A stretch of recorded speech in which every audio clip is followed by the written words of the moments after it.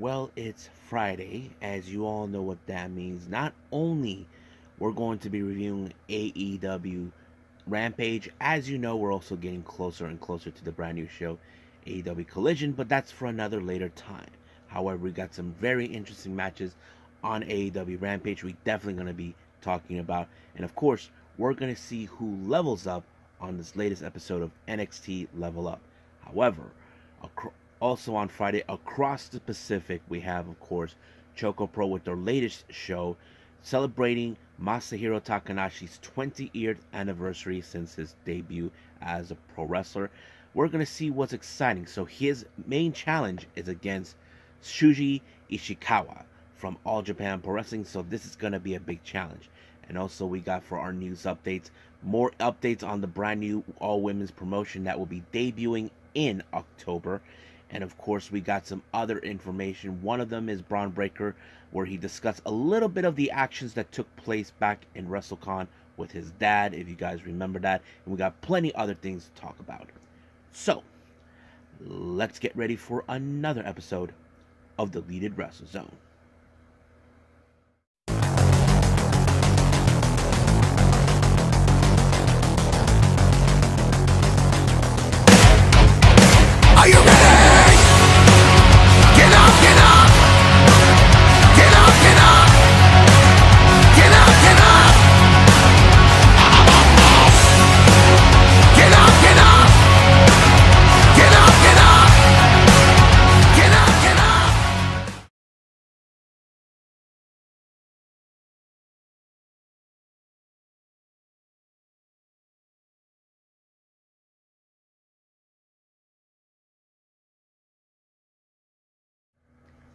Welcome everybody to Deleted Wrestle Zone, all things that is pro wrestling with AEW, NXT, New Japan Pro Wrestling, Impact Wrestling, the National Wrestling Alliance, various promotions, wrestlers, matches, and championships.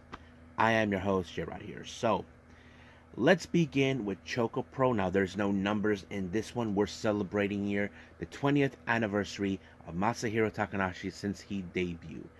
Yes, folks. He actually um, he was along. He was one of the first wrestlers that, of course, if you guys remember when Gatoh Move was created, uh, is where she met, of course, Emi Sakura. So basically, Masahiro Takanashi runs the day-to-day operations in Choco Pro and Gatoh Move, but he goes through Emi Sakura while she's staying here in the states. So we're all celebrating, of course, his 20th anniversary. Now, of course, the opening of the show we have Chie Koishikawa give uh, some announcements, matches are taking place. Masahiro Takanashi said that he will continue celebrating his 20th anniversary in the next Gatoh Move show that will take place at some other point. Um, I know they'll be doing a show in um, in the UK very soon, so that will already has been set. Um, also, something else we had the agent of Uma Army Haruna uh, Mayako making her presence. I don't know what exactly she said.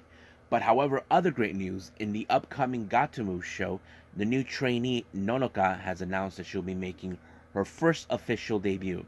Now, I know what some of you guys are thinking. Wait a minute, didn't she already made appearances? No, those are exhibition matches. She's not wearing uh, wrestling gear until she get uh, gets it. Now, this is the same kind of thing that happened with Mia Yatsuba recently, but now we're going to see Nonoka making her way. So we'll be talking about that at some other point. Now, our first official match for this particular uh, event, we have Sayaka Obihiro versus uh, the Big Apple Mei Suruga versus Bambi. Now, I think some of you are trying to say, who the hell is Bambi? Well, uh, from my information, Bambi is a freelance wrestler, uh, 45 years old. She's been with various promotions, working with them in many times. Uh, Oz Academy, uh, PPV to- uh, Tokyo, Collego Pro Wrestling, wherever, anywhere in Japan. So this is her. I think this is her first debut being in Choco Pro. So this is a very interesting thing. However, Bambi is a big girl in this particular match, so this is going to take a lot of effort for both Obihiro and Suruga to try to dodge or try to pick up a win. But what was smart is that they managed to take her outside the through the window just for Obihiro and Ma- and Mei to pick up the win. but it was Mei Suruga who was able to pick up the win when Obihiro applied a roll up and then she reversed it into a bridge and it was over right from there, giving her the victory. Now, our next match, we have tag team action Baliyan Akki teaming up with Ken Ohka, who's not doing the Mei Suruga persona. Uh, he they take on uh, Tonom Tonom Saktoba and Takashi Sasaki from Pro Wrestling Freedom. So this is a very interesting matchup. Uh, this was a very hard hitting match, no matter what. I know Ken Ohka has been dealing with many of these wrestlers before, but in this case, it was, of course, a sharpshooter by Sasaki who put it on Baliyan Akki to force him to tap out. So that kind of sets it in. However, our main event, of course, is the birthday boy, Masahiro Takanashi, taking on Shuji Ishikawa. I have to say, Ishikawa really put up a brutality match against Masahiro Takanashi. Now, Takanashi is a bit more of a clever wrestler to look ways to overcome and try to outrun obstacles against his opponents, but this time he's not getting that done in this particular match. But however, it was a big knee strike by Ishikawa to Masahiro Takanashi to pick up the win. Now for our Janken tournament, this was a very interesting one. Normally when we see Janken tournaments, certain wrestlers who are outside, they rarely they pick up their first win on who tries. Now, of course, the the May Balian they were out until we got to Masahiro Takanashi and Takashi Sasaki.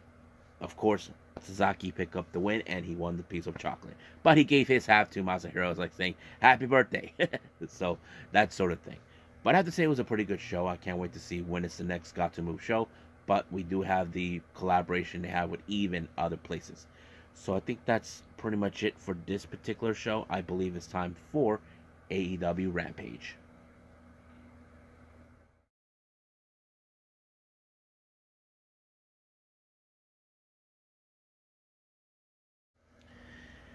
Okay, AEW Rampage. As you know, we're still in DC in this particular event.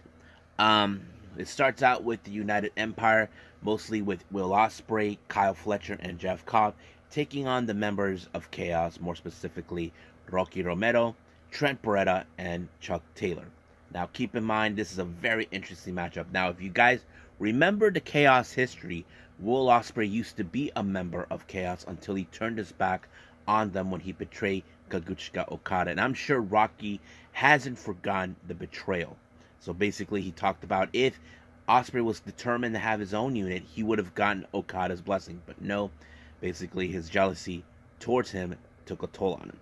But however, there was some great moments in this match. Of course, we all know how United Empire has always. But however, we all know one primary mission that Will Ospreay has is to get to Kenny Omega and take back the IWGP United States title that he lost to him back in January in, at Wrestle Kingdom.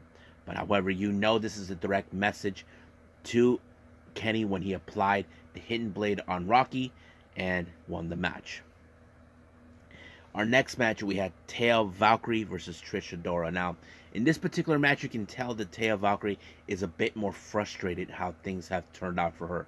Now, keep in mind, since she made her debut with AEW, she had one goal in mind, and that goal is to dethrone Jade Cargill and to obtain the TBS title. But however, because that wasn't the case anymore, we all saw what happened after double at Double or Nothing. Jade Cargill issued an open challenge. Kris Statlander returns and, of course, won the title. However, you can tell that Trish Adora, I mean, um, Taya Valkyrie, my bad, is frustrated over that, so she applied the curb stomp, allowing herself to win. However, during an interview, she did talk about that, and Kris Statlander is no fool. She knows that she's been watching her, that Taya has been watching her the entire time.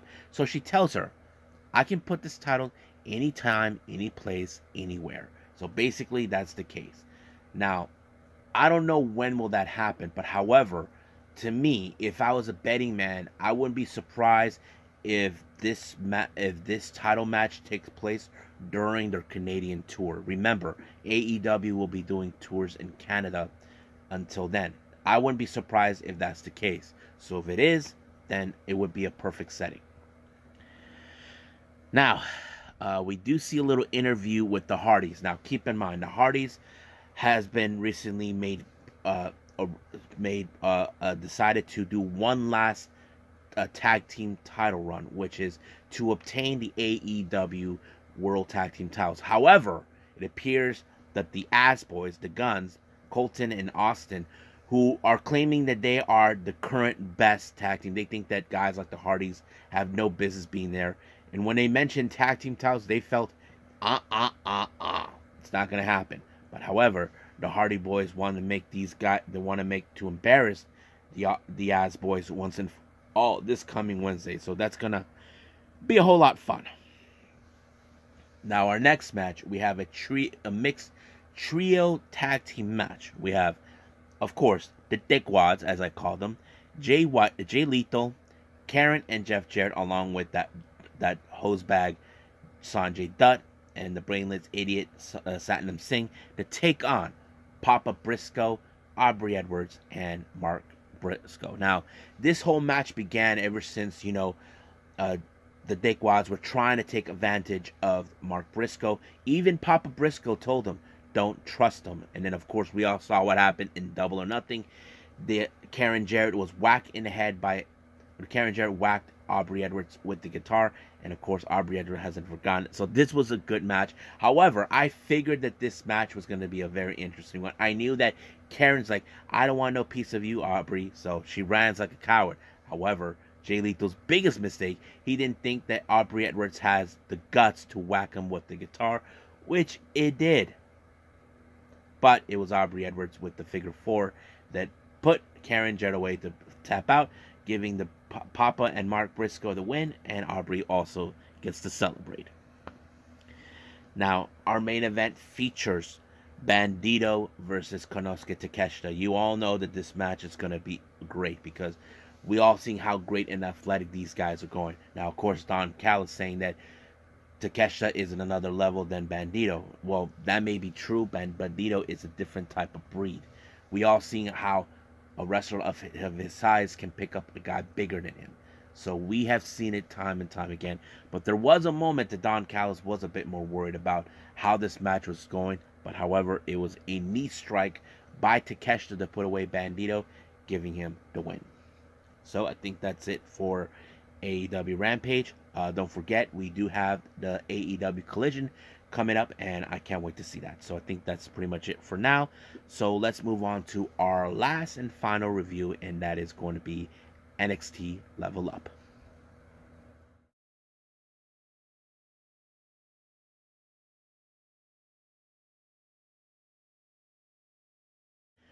Okay, so who levels up on this latest episode of NXT Level Up? So let's find out. Our first match, we have Elektra Lopez and Lola Vice teaming up. They take on Danny Palmer and Kalani Jordan. Now, keep in mind, this is a very interesting matchup.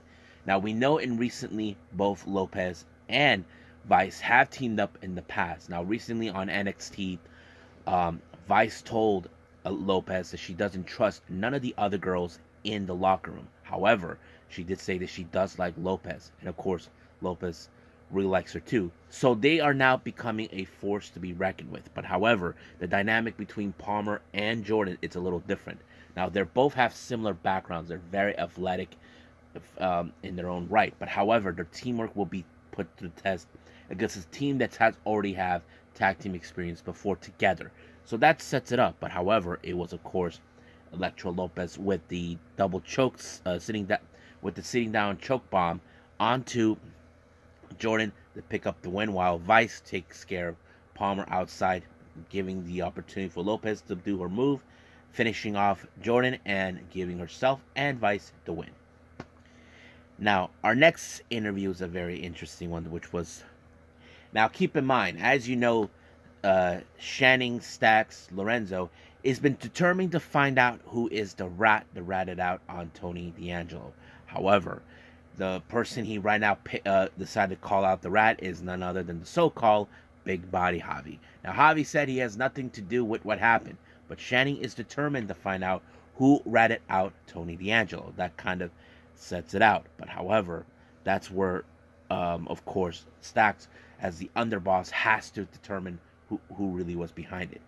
Now, we'll get to that match until the, the main event. However, our next match features Boa and the returning Bryson Montana. Now, uh, we haven't seen Bryson for some time, but Boa and Bryson, uh, the match was pretty good. You know, um, as I said, we had hardly see these two together. Uh, seeing these two, in fact, in for a while, but now, but it was of course a spinning uh, back kick by Boa onto Montana, picking up the win. Now our big, but our main event, we have Stacks taking on Big Body Javi. This was a very tough challenge because, as you know, Javi, he's not playing games, but he is not going to let Stacks to call him out a rat until because he thinks that he has the right to do whatever he wants. But Stacks, he's a very loyal uh, soldier to Tony D'Angelo. But I have to say, Stacks really stepped up his game, knowing he's on his own for the time being until he finds a way to free Tony D'Angelo. And I have to say, he did pick up the good win when he applied his stomp, and it was over right from there. So I have to say, there was some good level ups on this one, but mostly I was more focused on the Elektra Lopez and Lola Vice. I feel that they could be the next, the ones that should challenge for the NXT Women's titles and bring them back again from you know the unholy union or whatever they call themselves. But that's pretty much it we have. I believe it's time for some news updates.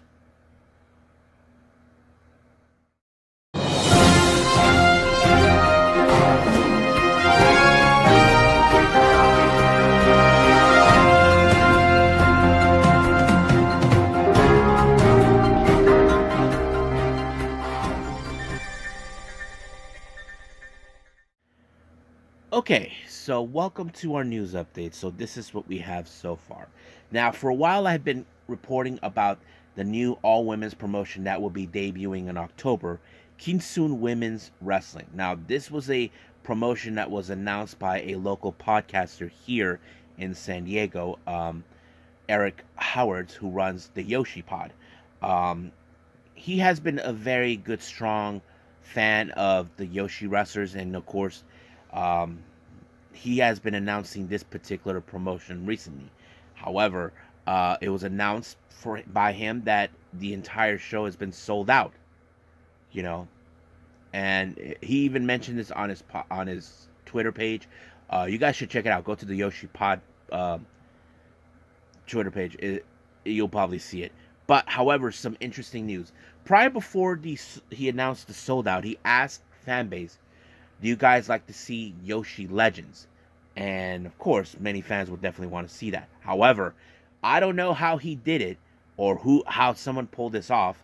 How, uh, however you want to say it, he actually brought two. There was announced two Joshi Legends. One of them is Chigusa Nagayo. That's right, folks. Chigusa Nagayo, you may know her as the founder and promoter of Marvelous. She'll be coming to the U.S. for that in uh, LA on October 22nd. But the next one was the one where, holy shit, I cannot believe it's going to happen. They announced Kyoko Kimura. That's right, folks. Kyoko Kimura. You may know her as the late mother of the of Hana Kimura. So I'm surprised of that. I wouldn't be surprised if if Mercedes Moné goes say hi to her because we know how close she's been with Kimura. She's been she's been keeping Hana's memory alive. So I have to say that's a pretty good thing. Uh, some of you may ask me, how come I didn't get tickets? Well, thing is, I don't drive, and I don't know. Maybe things may not go my way if I plan to go, but we'll see what happens then. Now, more info coming up from other promotions. Uh, West Coast Pro has announced for the Cruel Summer event taking place on July 8th. We're going to have the bounty hunter Brian Keith taking on DDT star uh, Mao. So that's going to be a lot of fun. Now, I did mention earlier Bron Breakker. Now, if you guys remember what happened at um, a couple of months ago during WrestleCon, um, his father, Rick Steiner, was the subject of a, how do I say, a transphobic situation where he was being discriminating towards Giselle Shaw. Now, we all know what happened there. Rick Steiner is now banned from a, attending any of the WrestleCon events. But however, certain fans question how will this justify for Bron Breakker? Now, Bron mentioned on Fightful Select that this is not how he sees himself. He's nothing like his father. Now, I know some of you are going to say that's a load of horse crap. He that he probably will. He's probably lying. Look, we just don't know exactly. I mean, look, Bron Breakker at this point, we all know he's at the top of his career, and he knows this is the last thing he needs is to ruin his career over his father's actions. Now, his father's actions were his own. Bron never mentioned anything like this, but we'll see how this plays out in the future because I know some of you will like to say that he is much like his father, but we'll see what happens then. Now, um, if you guys remember Delirious, Delirious who made who was in Ring of Honor, as you know, when he during his time in Ring of Honor, he was the official booker of the promotion. However, it was announced that um, that he will be has been signed with Impact Wrestling as a writer and a producer. We know he has stepped up the game on doing that. We know he had made appearances in um, Impact Wrestling before. Now it's still unclear whether is he going to be wrestling or not. So we'll just gotta wait and see. Now, finally, our last update here. Uh, first time ever in Prestige Wrestling for the upcoming show later on this on the 18th of June for Black Sunshine. We're gonna have Killer Kelly taking on Taya Valkyrie. So this is the first time these two ever collided. So that's to be a lot of fun. Uh, I'm not sure if I'll be able to see it, but uh, we'll see what happens till then. Um, I think that's pretty much it for our news updates. I believe. Yep, it is. So let's call it a day. Well, I hope everybody enjoys this episode. Um, coming up, we do have the Unagi Sayaka Watch. We're going to talk about some recent matches that took place during the Fortune Dream 8 event that's been produced by none other than uh, Japanese wrestling legend uh, Kenta Kobashi, and of course, the much recent Marvelous show where she teams up with uh, Aoki and takes on uh, her opponents. But we're also going to talk about something else, a very bit of surprise for every American fan base here. And of course, uh, I want to apologize to everyone. I did mention I was going to put a photo of Dark Unagi. Uh, my bad. I kind of forgot while I was editing the last uh, Unagi Sayaka watch. But this time I'm going to do it for real. And I made a strong note on this thing uh, to attach it. So, uh, well, just to make it clear for everyone, let me put it up, uh, you know, right there, you know. That's where it is. So so that's pretty much what we're gonna do. And of course, for our next episode, uh, we have more on the road to uh, the new road, the new Japan road. We're gonna be reviewing about that. Uh, what else we're gonna have? Oh yeah, the Gambari Yoshi.